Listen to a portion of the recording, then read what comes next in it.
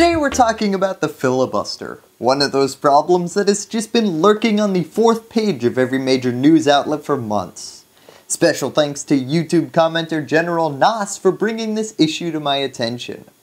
A filibuster is when Congress decides to stop metaphorically wasting everyone's time and start literally doing it. It's brought us some great moments like Ted Cruz literally reading the entire Green Eggs and Ham at the podium. Hey, beats reading legislation. Do you like green eggs and ham? I do not like them, Sam I am. I do not like green eggs and ham. Would you like them here or there? I would not like them here or there. I would not like them anywhere. I do not like green eggs and ham. I do not like them. Sam I am. It turns out Ted Cruz wouldn't want the Affordable Care Act in a box or with a fox. Now the irony didn't stick when at the end of the story the protagonist finally gives the eggs a chance and realizes they really like them. But that's a political point that would have been a lot more poignant in an episode released, oh, six years ago. Boy do I feel old. So the filibuster is the embodiment of Congress wasting everybody's time. Unless you want to hear Dr. Seuss weigh on the Affordable Care Act. He is a doctor after all. Now there's a new push to get rid of the filibuster, accompanied by an equal and opposite push to not get rid of the filibuster. Today I want to explore the arguments of both sides and really figure out what's going on here. So let's start with what the filibuster actually is. Now first, and this might surprise you, but filibustering is not just a Republican thing. Now I know it feels like mostly liberals grumbling about it, but Democratic filibusters have impeded Republican legislating, ensuring that even before Democrats took the House in 2018 midterms, the GOP could not pass legislation to build a wall or cut legal immigration. What the filibuster does is enable the minority party in the Senate to block or delay legislation from being voted on by the majority in the Senate. To get a little deeper, I'm going to try to connect two ideas I've introduced so far in this episode. First, the goal of the filibuster the minority party trying to block legislation. And second, the core mechanic of the filibuster. Speeches so long and slow they could have been directed by Ken Burns. The connection may seem incredibly obvious, but it leads me to two questions. First, what are you waiting for? It's not like after being subjected to Ted Cruz after a few hours, senators are going to suddenly say, you know what, civil rights, not worth it. Now this also feeds into my second question. If Democrats were filibustering the wall legislation and cuts to legal immigration, why didn't I see videos of them reading If You Give a Mouse a Cookie? Well, there's some key mechanics I haven't mentioned yet that lead to reports like after Democrats blocked a vote on Neil Gorsuch, Senate Republicans going nuclear, changing the number of votes needed to confirm a Supreme Court nominee from 60 to 51. Just a simple majority. That might not sound filibuster related, but oh man, was it. Remember that 60 vote number being dropped to 51 for Supreme Court nominations, because it's going to come back in about two minutes. The key quirk of the Senate is that there's no limit on how long you can debate something. So you can literally take forever debating something. This is the goal of a filibuster because as long as something is being debated, it can't be voted on. Now this used to be a strategy that could be employed in both halls of Congress. In the early years of Congress, representatives as well as senators could filibuster. As the House of Representatives grew in number, however, Revisions to House rules limited debate, and that move abruptly killed the ability for people to filibuster in the House of Representatives in the early year of 1888. Such reforms haven't happened to the same extent in the Senate. Currently in the Senate there are two types of filibusters. First, there are the famous ones, where you have one man standing on stage for 24 hours and 18 minutes a record set by South Carolina Senator Strom Thurmond trying to delay passage of the Civil Rights Act of 1957. Boy did that turn into an unfun fact pretty quickly. If it makes you feel any better though, the racist did have to pee in a bucket several times in order to stay standing in the Senate building. These filibusters are not that common and are held by individual senators with less popular opinions. They get off the stage and then the vote is triggered. Let's take Ted Cruz's filibuster from the beginning as an example. After 21 hours and 19 minutes standing on his feet, Ted Cruz finally sat down. Most Republicans oppose Cruz's mission, trying to defund Obamacare on a must pass spending bill. In the end, he joined all senators in voting for a procedural measure he seemed to argue against. Well, that was a waste of time. Now, these speeches are long and weird. Mike Lee, I am your father. Yeah, emphasis on weird. If those speeches were the biggest problem, though, the Senate would be a-okay, and nobody would be having a problem with this issue. The bigger issue is the second, virtual filibusters. Although, believe me, they're very real. These are the filibusters that cause most of the slowdowns in the Senate.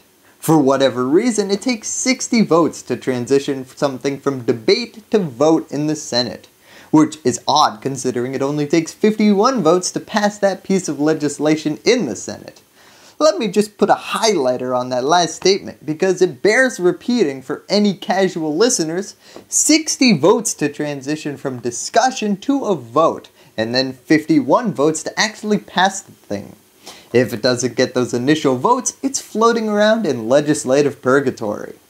For those of you paying attention, those are the two numbers I told you to remember from that Mitch McConnell nuclear option video clip earlier. This means that if you can get 41 senators to oppose a bill, you can just not vote to bring it to vote and it will be stuck in debate forever. So how did Mitch McConnell beat a Democratic filibuster on his Supreme Court nominee? We need to restore the norms and traditions of the Senate and get past this unprecedented partisan filibuster. Therefore, I raise a point of order that the vote on cloture under the precedent set on November 21st, 2013 is a majority vote on all nominations. Now, those of you who didn't just break your laptops out of anger are probably asking, uh, what did any of that mean? Well, it means that the Senate's phasing out the filibuster, and it's working, although not in the way Democrats were hoping. In 2013, senators approved, along partisan lines, a measure that would ban the use of a filibuster to prevent nominees from being confirmed. McConnell pointed to that rule and said, a Supreme Court justice is a presidential nominee, so yeah, you can't filibuster him. Well, it was a little more complicated than that. A Supreme Court nominee was not on the filibuster-proof list approved in 2013, but that was the basic idea. Democrats had a filibuster coalition of 41 to fight his nomination, but because no filibusters were allowed, they lost because the actual voting threshold only requires a 51 senator simple majority. The other, less high profile bills that are not subject to filibusters are budget reconciliation bills, trade promotion authority, war powers resolution activities, national emergency activities, and I can see that one getting abused in the near future, and the Congressional Review Act, which allows Congress to review and repeal executive branch administrative regulations. So now that I've spent a ton of time discussing what the filibuster is, why are we talking about it today? Well, several presidential candidates want to further strip down the filibuster rules. Would you urge the Senate Democratic leader to get rid of the filibuster? I think we have to have that on the table. To get rid of the filibuster. Get rid of the filibuster. Now, not everybody's completely gung ho on the idea. Cory Booker is strongly opposed to tampering with the filibuster. Kamala Harris says she's conflicted on the subject and constantly changes the subject when it comes up. And Bernie Sanders, well, he's a bit confusing. He used the filibuster a lot when Democrats were the minority in the Senate, then spoke out strongly against it when Republicans used it to block legislation, and was most recently quoted as saying he's not crazy about getting rid of the filibuster. Basically, don't be mad at me, Internet, he's got a lot of pinballed positions on this issue.